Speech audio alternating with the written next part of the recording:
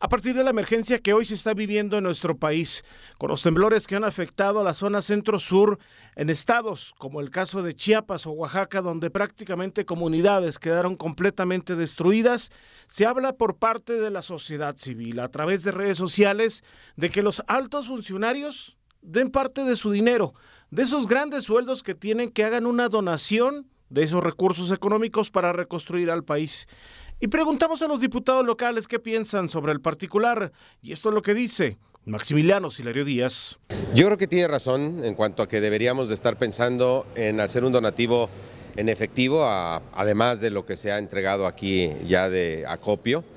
Eh, le es más importante y más necesario ahorita ir generando una bolsa a nivel nacional para reconstruir eh, los daños que han causado los terremotos de, la, de los días pasados, tanto el que eh, golpeó a, Oaxaca y Chiapas como el que golpeó a la Ciudad de México y el centro del país.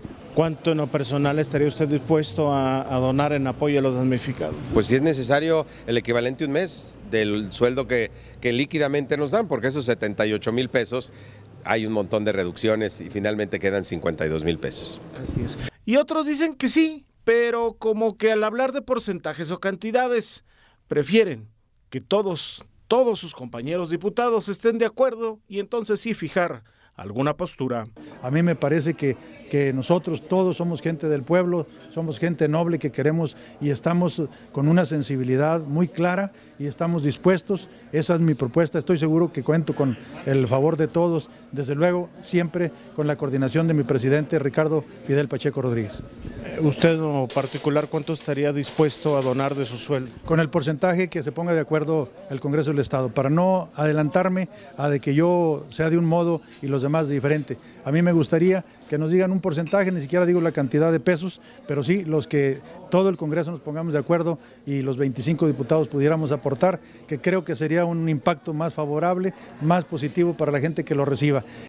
Esto es lo que señalan algunos de los legisladores locales que dicen estar dispuestos a donar más allá de algunos eh, víveres que han entregado finalmente en el Congreso del Estado, luego de los señalamientos públicos realizados precisamente aquí en tiempo y espacio, donde por muchos días solamente se observaban unas botellas de agua y tres litros de aceite en este centro de acopio. Ya está más lleno pero al hablar de recursos económicos como que todavía la piensan un poquito algunos de ellos para finalmente donar parte del ingreso que ellos perciben mensualmente, pagado a final de cuentas con nuestros impuestos. Con la imagen de Samuel Soto informó para Tiempo y Espacio Luis Ángel Rodríguez.